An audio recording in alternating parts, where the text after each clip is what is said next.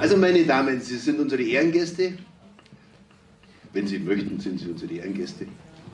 Ja, wir fangen pünktlich an und äh, ich habe mich gut vorbereitet, nachdem ich ja gut betreut wäre. Schön, dass Sie alle da sind zur heutigen Seniorenmesse. Da war mein erster Gedanke, liest der Pfarrer eine Messe? Das wird er selber erklären.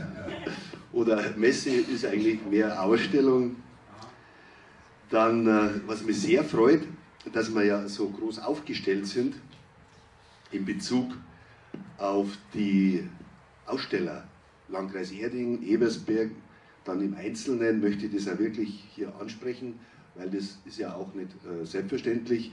Vorab natürlich einen Herrn Klinger nochmal begrüßen und die Frau Notz, die dann auch noch ein paar Grußworte zu uns sprechen. Von der Architektenkammer an Herrn Gutjahr, klatschen da mal am Schluss, wir sparen unsere Kräfte. Maria Sommer vom Aktivkreis Senioren, Frau Gruber und Frau Springer von der Abo-Markt Schwaben, die Frau Melbert von der Betreuungsstelle Ebersberg, der Herr Ulbrich Caritas Insolvenz, Insolvenzberatung, sicher ganz ein wichtiger Bereich auch. Dann die Birgit Tempe Opitz vom Hospizverein, war ich vorher schon vorne auch. Verkehrswacht, der Herr Schweider. Dann äh, Caritas ist hier mit der Frau Deile hauswirtschaftlicher Fachservice hier gleich um die Ecke. Aus Poing wird der Herr Rappold noch kommen. Vom Ordnungsamt wird über das Fahrradfahren sprechen der Herr Bayerl, der oft und immer da ist, Gott sei Dank mit seinem Team. Die Frau Grell wird im Workshop vom TSV uns dann noch entsprechend im Workshop ihre Leistungen anbieten von der VHS. Die Frau Semmerath, die Frau Tappe, der Peter Mayer vom Ortsverein, dann, was mich besonders freut, dass mein langjähriger Freund, der Pitt Stöckel, wir sind beide gleich alt, er hat jetzt den VDK in Polen übernommen, ganz eine tolle Geschichte. Also von daher, uns geht die Arbeit nicht aus, gell, wenn wir mal nicht mehr arbeiten. Nicht mehr gegen Enkel, so, jetzt machen wir es gegen ja, Bürgermedaille oder so irgendwas. Weiß es auch noch nicht. Also reich werden wir mit Ehrenamt nicht. Das wissen wir. Und wer, hat, wer sagt immer so schön, Dieter oder wer, äh, Altern ist nichts für Feiglinge oder so. Wer sagt das immer? Das ist auch ein guter Spruch. Da ist was dran, aber wir sind alle mutig. Das ist eine Knott vom Familienzentrum, Peter Meyer und seine Frau im Bereich Mega. Und jetzt habe ich sicher noch viele vergessen. Herr Ganselmeier, Sie tun sehr viel für uns. Und ja, ja, das muss man schon sagen, der Ludwig und also alle zusammen einfach, die vorbildlich sind und die möchte ich ganz herzlich begrüßen.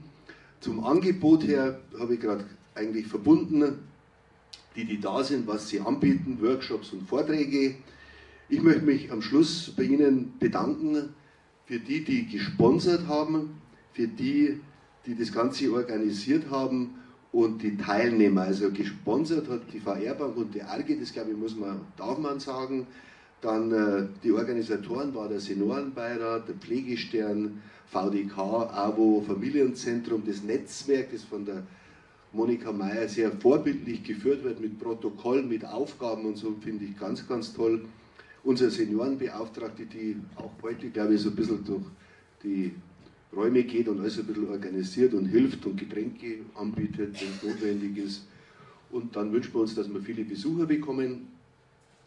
Vom Alter her habe ich noch mal kurz mal geschaut äh, in unsere Statistik. Äh, wir sind stark, also wir, ich auch schon fast. Wir fangen zwar mit der Statistik erst bei 66 an und da sind wir über 2000. Das ist von 16.200 Einwohnern nicht wenig. Die stärkste Gruppe ist natürlich zwischen 19 und 65, aber das passt ja irgendwie nicht vom Vergleich her, das sind über 10.000, aber 2.000 Leute in Poing, die 66 Jahre und älter sind, wohl wissend, dass unser Altersdurchschnitt 38 ist. 38 Jahre und, und heuer, glaube ich, im Frühjahr haben wir ganz knapp wieder den Rekord, den Geburtenrekord in Deutschland, glaube ich, um zwei Babys versäumt. Also irgendwo ist dann trotzdem interessant so die Zusammensetzung und äh, ja, und dass, dass man mit 66 und älter noch viel machen kann und viele Angebote hat, dafür sind wir heute da. Danke, dass Sie da sind. Danke für Ihr Engagement. Und äh, dann bitten wir Sie oder die beiden um Ihr Grußwort.